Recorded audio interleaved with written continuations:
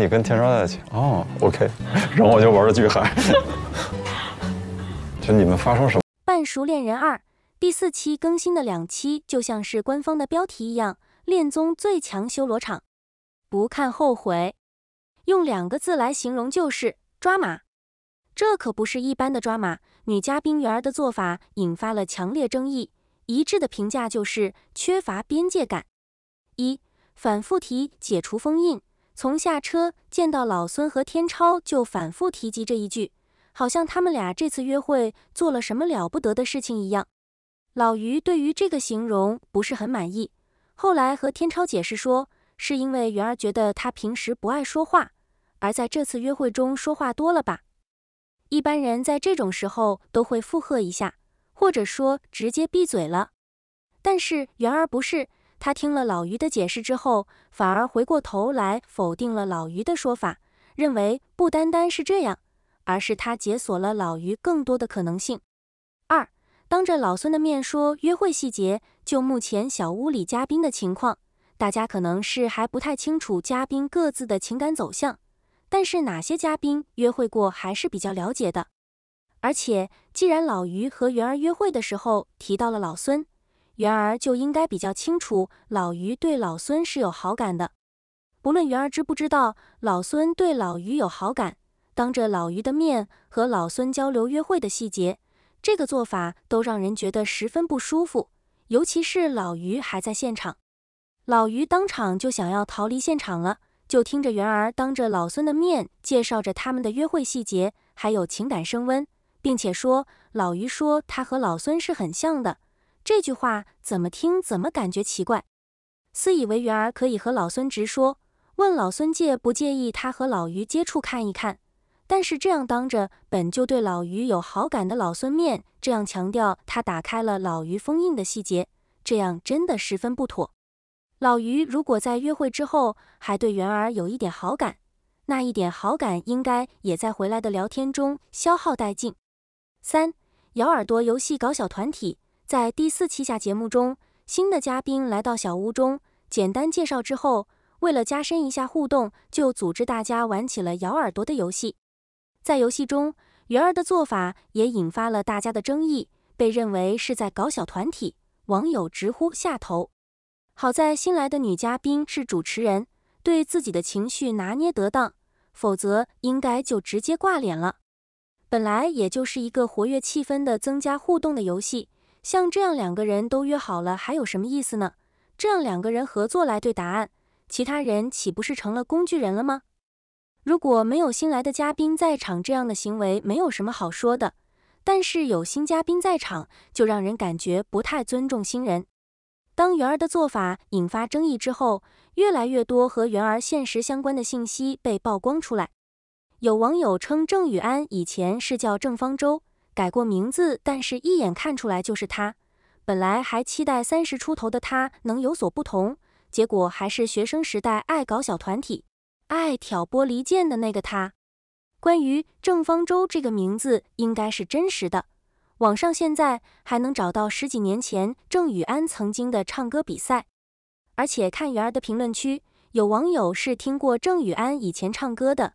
对比以上，郑方舟参加厦门大学漳州校区十佳歌手赛这一点，应该是真实可靠的。边界感这个话题随即继续发酵，甚至还有称现实中认识郑宇安的网友说到，边界感这个话题，在纽约的时候把我当工具人，每次有事都是越过我私聊我老公。我之前一直当他好朋友，不想说他茬。但是我也一直不明白，是不是真的有人这么缺心眼，还是就是故意的？他问我老公问题，有时候还是带命令式的，并且都不说谢谢。我和我老公同时发一样的朋友圈，他也只给我老公点赞。要说搞小团体，或者就是大大咧咧的性格，心直口快倒也不算什么特别大的问题，最多也就是被说一下情商低，相处起来不太舒服而已。但是每次有事都是越过我私聊我老公这一点是真的雷区。明明是女生的朋友，为什么在认识对方老公之后，只给老公点赞，却不给朋友点赞呢？如果属实，可以说是实锤了缺乏边界感这一点了，甚至可以说缺乏道德感了。节目目前播出不到一半，嘉宾们的各方面性格都没有完全展现出来，后续也会随着节目的播出展现更多。新嘉宾的到来总是会在小屋里激起涟漪。严淼的到来还好，只是让落单的张燕看到了希望，并且两人相处感觉还不错。但是男嘉宾吴世婵的到来却让几个男嘉宾都感觉到了威胁。吴世婵是一个很成熟且成功的男士，在聊天中得知他毕业于华东政法大学，有着六年的职业律师生涯。之后他转行进入主题乐园领域，并参与迪士尼乐园的项目，这让几个男嘉宾觉得瞬间逊色。原来这个才是真正的大老板。吴世婵出来小屋，他还给女嘉宾带来了香薰礼物。女嘉宾收到礼物都表示好喜欢，尤其是媛儿，她说自己最近睡眠不好，正是需要香薰来助眠。这正好碰到了她的点上，这让天超看在眼里。他看着他拆礼物的惊喜，心里暗暗的不爽。后来吴世婵说自己还有一个副业，就是开了几个剧本杀，这更是中了媛儿的心。他说他最喜欢玩这个。天超这个时候真是有了危机感。他怕媛儿因为这些的加码而增加了对吴世婵的好感度，老孟更是慌了，因为宝儿才和吴世婵约会过。吴世婵这么优秀又体贴，她身上散发出一种成熟优质的气味，让同为男士也有了紧张感。在当天一边聊天中，老孟的心都被撸了出来，他乱了心神，竟然给宝儿倒了三杯红糖水。老孟开始对宝儿上心了。他会为他买汤喝，但买的太油腻了，宝儿不喜欢。然后他开始记录宝儿的喜好。于陶然对吴世婵的到来也是有点紧张感的。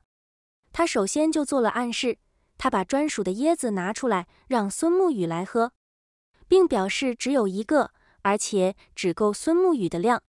这妥妥的宣示了自己的心意，也算给吴世婵做了暗示。吴世婵也真是细心体贴的人，在盲选约会，他本以为有机会和女嘉宾接触，增加了解，没想到他落单了。他留在小屋里给大家做了很多菜，看样子还真是不错。反观当时张燕第一次约会落单，她自己在小屋里失落的待了一天。后来天超和张燕坐下来和吴世婵聊天，他们问吴世婵这两天的相处有没有想了解的女孩。吴世婵说有，他想了解媛儿和严淼，真是戏剧性了。这两人正好分别是天超和张燕有好感的人。听了吴世婵的话，想必天超和张燕也是心里一紧吧。看来小屋里也迎来了鲶鱼效应，这让男嘉宾更有了求胜欲和挑战。接下来，想必他们会更加关注自己有好感的女嘉宾，好更好的去了解他们，关心他们。